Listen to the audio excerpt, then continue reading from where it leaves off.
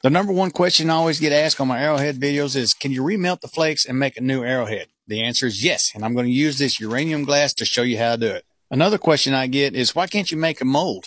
Well, let's do that. So I carved out a triangle in the bottom of my kiln, but I'm still going to have to use this kiln paper. And now I'm going to load it up with these flakes and see what happens. So now I'm just going to grab a few pinches of this uranium glass and then I'm going to grab the lid to the kiln and set it on there. And then I'm going to walk over and pop it in the microwave.